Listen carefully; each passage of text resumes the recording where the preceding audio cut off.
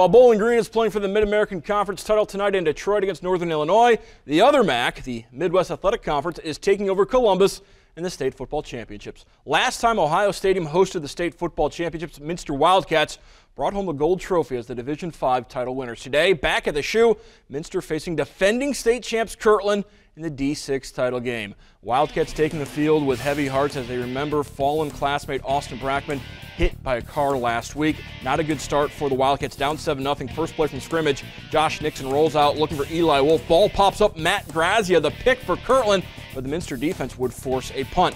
Late in the first quarter, Minster's offense gets on track. Nixon over the middle to Sam Dews, and number 44 blockers in front, finally brought down at the 14-yard line, a 22-yard pickup. Couple plays later at the three-yard line, Minster with the reverse, Bryce Schmiesing coming the other way and into the end zone. Point after was no good, so Minster down 7-6. Next play from scrimmage, Eli Wolf forces the fumble, ball is loose, and Minster's Hayden Schindler recovers it at the Hornets 10-yard line. Ensuing possession now in the second quarter, Minster ball at the three, Nixon to Wolf, touchdown Wildcats up 13 to 7. Later in the second quarter, Minster on the move. Nixon looking to pass, ball batted up in the air, and Matt Finkler comes down with the interception for Kirtland. Hornets grab the momentum. Sam Skilgen, nice play action fake, hits a wide open Finkler 48 yard touchdown. Kirtland goes in front 14 13.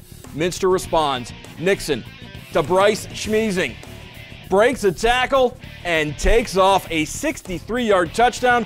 Wildcats go up 20 14 late in the second quarter. But there's time for the Hornets, and Kirtland comes right back.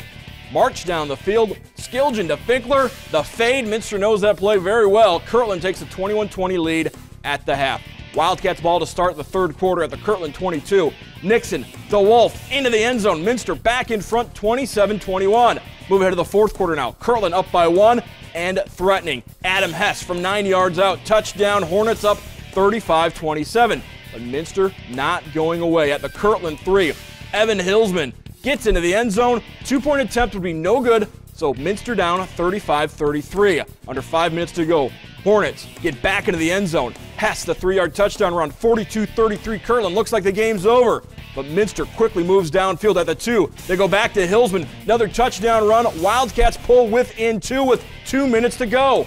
Onside kick coming up for Minster. Garen Stokes feeling good about his chances. Jason Schultz squibs it, gets the big bounce. It's free, and Schultz recovers. Minster ball. Two plays later, Nixon goes to Eli Wolf over the middle. We've seen this play a million times from Minster this year. Shrugs off the tackle, and no one's going to catch the future Eastern Michigan Eagle. A 51 yard touchdown. Minster up 46 42. And that is the final score as the Wildcats win a wild one. Second state title. First one came in 1989, so you know what that means? No more sets of 25 push ups for the Minster Wildcats as Josh Nixon, 26 of 41 passing, 417 yards, four touchdowns.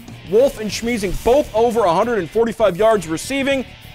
Got to feel for the Kirtland Hornets. Two losses in the last three years, both in the state championship game, both to MAC teams. Coldwater in 12, Minster this year.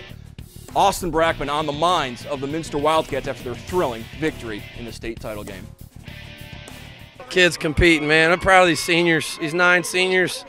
Uh, just going out having fun, competing. They never thought they were beat uh, and just kept showing up and fighting. What a, what, a, what a cool deal.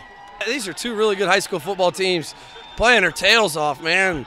Uh, that was just fun. I was just having fun. I was good either way, winning or losing. Just as long as you play hard and play like that, and uh, found a way, man. The kids found a way. It's amazing. State champs. You can't get any better than that. I mean, this team just fought and clawed the whole year. I mean, this game was basically a telling of our whole season. It was ridiculous. You know, we just ran a little simple pattern where I came across flat and uh, a few bounces, and you know, came up our way. And like I said to the other reporter, uh, I mean, we had somebody up there in heaven looking after us. So, uh, I couldn't be more proud of the way it turned out. Oh, I was thanking Austin Brackman for helping us out. So divine power helped us out. Um, the whole team really binded together. I mean, having a tragedy like that happen, I mean, it really makes you appreciate the people that you you still have, and uh, football kind of acted as a release for all of us, and I mean, it just let us focus. Yeah, it was tough this whole week. We battled through that and we stayed focused, and we won this game for us. I mean, his passing was tragic, but we still knew we had our game in our minds, and we went out there and won it for him.